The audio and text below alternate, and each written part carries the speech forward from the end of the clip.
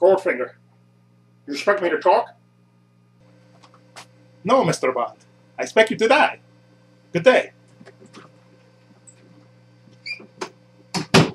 Gold, Gold, Goldfinger? Uh, please, uh, please. Uh, I, I changed my mind. I'll talk. I'll, t- I'll tell you anything you want to know. Okay? I'll tell you what my real name is. Goldfinger? Please? Mommy? Hi, this is Trepacer. Welcome to Trepacer's Saturday Reviews, episode 93. Uh, I only had time to review one movie today. I had to go out earlier today. I was gone for most of the day, um, a little work thing. But um, I had time to review a movie, the movie that I actually been wanting to see, actually been wanting to get for a while. I got it a few weeks ago, and it's a nice chance to revisit it. I saw this a while ago, and I originally thought this was directed by um, Alfred Hitchcock, but it's not directed by. It's actually directed by Billy Wilder, and it's based on an Agatha Christie play Okay, and it was actually brought to the director by uh, one of the stars of the movie, Marlene Dietrich. And I'm talking about 1957's Witness for the Prosecution.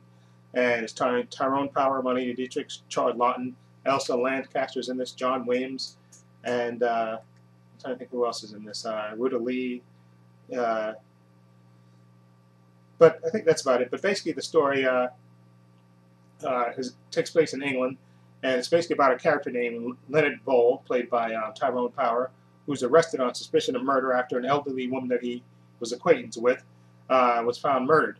Um, he's married, of course, Leonard Vole, and he employs a uh, an aging barrister, which is Charles Laughton's character, who's re recently recovered from a having a heart attack, and he's come home in the beginning of the movie, and he's has a nurse that a, nurse that's been assigned to him to watch over him to make sure he doesn't take on anything too strenuous, and he takes his medication, avoids alcohol and, and cigars, and that's played by Elsa Lancaster, of course, who's married in real life to to, to uh, Charles Laughton.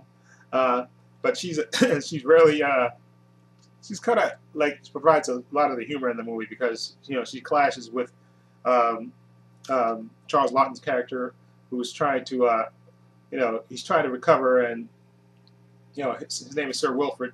He tries to recover, but you know he still tries to you know his doctor has told him to less stress and avoid the alcohol and the cigars, but he's still trying to sneak cigars here and there when he can and drink when he can. Okay, and that's when he's recovered, uh, come home.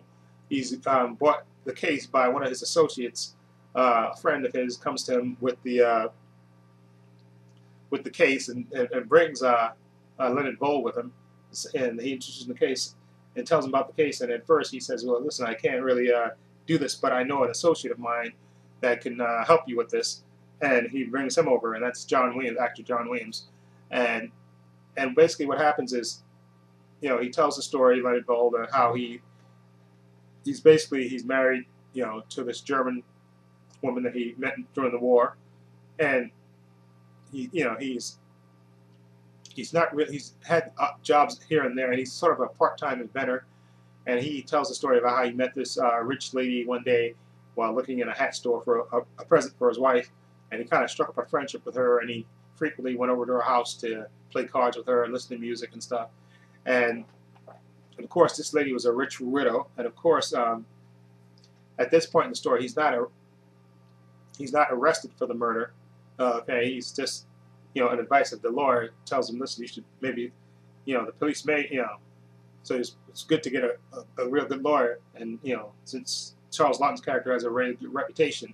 He says you should employ him, and then while he's discussing the case with him, the cops do come to his house and do arrest him because they find out later, of course, that this rich widow had changed the will and did leave him a great sum of money. Okay, so he's the more likely suspect.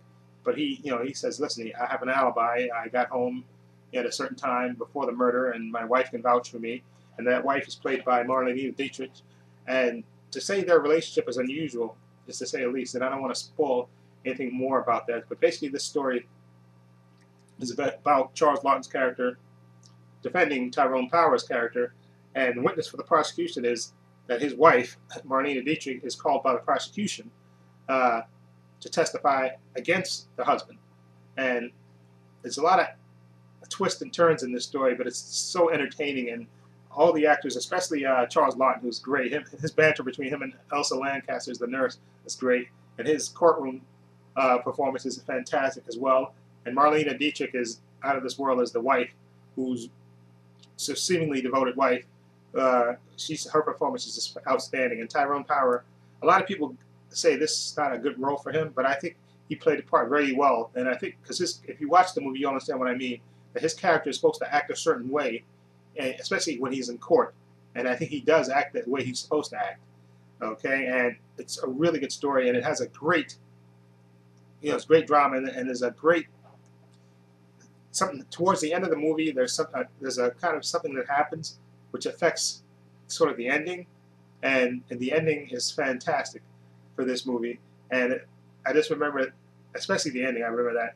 But this movie is outstanding. It's definitely a fantastic adaptation by uh, uh, Billy Watt, Billy Wilder, and the Blu-ray quality looks fantastic on this uh, Blu-ray for this, and definitely one of the better movies I think Billy Wilder has done, which is saying much because Billy Wilder's directed some really great movies. But this one, I just found this movie outstanding and just very riveting, a great drama and great performances by you know by the whole cast.